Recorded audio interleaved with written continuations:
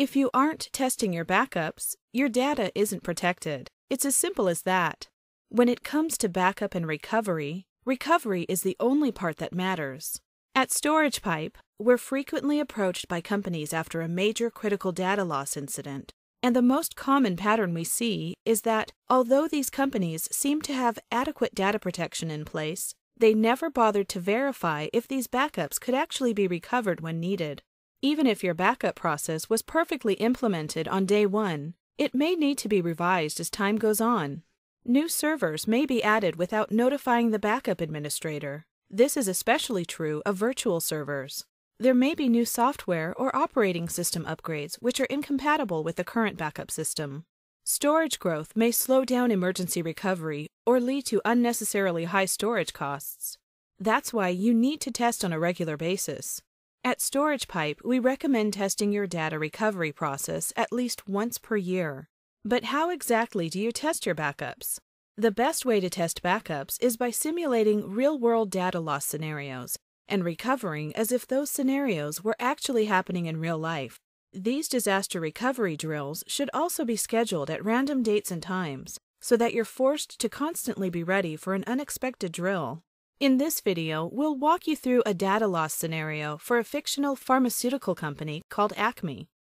Roger is the IT manager for Acme, where he's in charge of over 200 laptops and desktops and dozens of servers.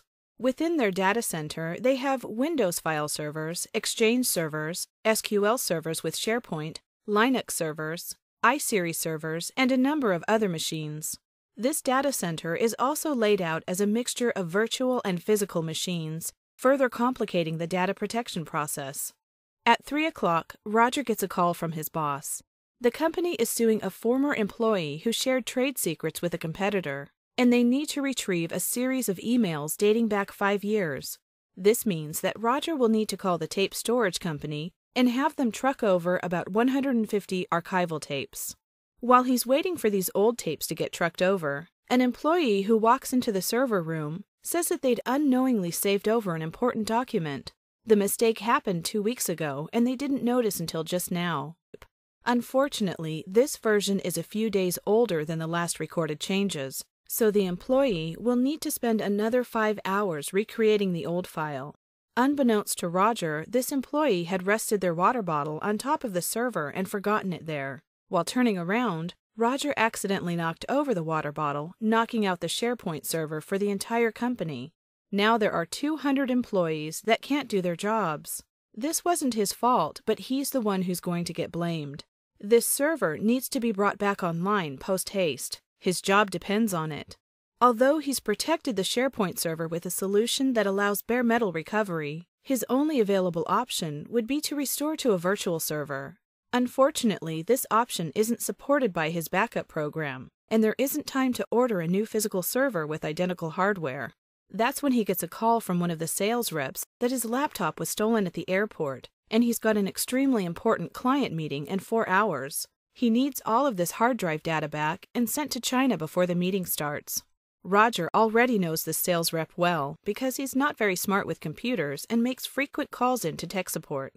Now let's think about the implications of this scenario in more detail. When the archival tapes finally arrive from the storage facility, how long would it take Roger to sift through 150 old backup tapes one by one and find a few critical emails dating back several years?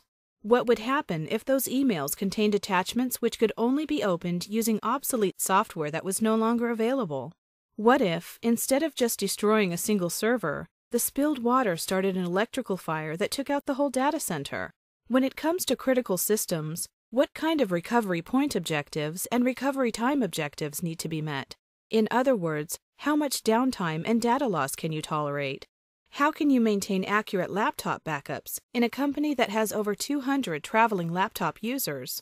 What if Roger had been away on vacation when all of this happened? Would he be able to guide a non technical employee through the recovery process over the phone?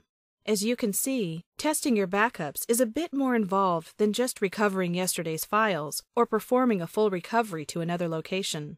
You need a comprehensive set of tools that will cover you in a broad range of scenarios while also ensuring you stay within budget. You need to individually analyze every internal system and ask yourself How much of this data do I need to retain? How fast do I need to recover? How much data can I afford to lose? When restoring very old data, will I run into compatibility problems? Am I just protecting data, or do I also need to protect hardware? If I were to leave the company, would anyone else know how to recover this data? If I can't bring systems back online immediately, what is the plan B during the downtime? How much will the recovery process cost? The best advice we can give you is to keep your backups simple. This will make testing and, more importantly, recovery much easier, and it will allow you to adapt more easily to growth and change as time goes on. Rather than creating a mishmash of different backup solutions, try to find a single provider who can back up your email servers, databases, flat files, and laptops, while also providing e discovery, archiving, mirroring, and bare metal restore capability. If you'd like more information on protecting your data center, please visit storagepipe.com. We'd love to answer any questions you may have.